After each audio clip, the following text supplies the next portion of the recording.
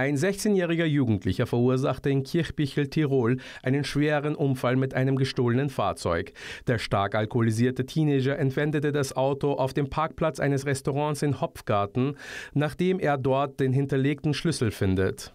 Mit einem gleichaltrigen Freund als Beifahrer fährt er mit hoher Geschwindigkeit Richtung Wörgl. Beim Erblicken einer Polizeistrafe versucht der Jugendliche der Kontrolle zu entgehen und biegt auf der Loferer Straße nach Söll ab.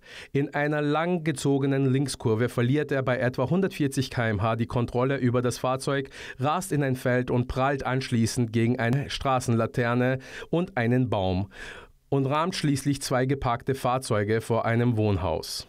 Die Wucht des Aufpralls ist enorm, die Batterie des Autos wird durch die Luft geschleudert und landet durch ein Fenster im Erdgeschoss des nahegelegenen Hauses. Eine 36-jährige Anwohnerin, die sich vor Ort aufhält, bleibt glücklicherweise unverletzt. Die beiden Jugendlichen befreien sich selbst aus dem Wrack und werden nach einer Erstversorgung ins Krankenhaus Kufstein eingeliefert.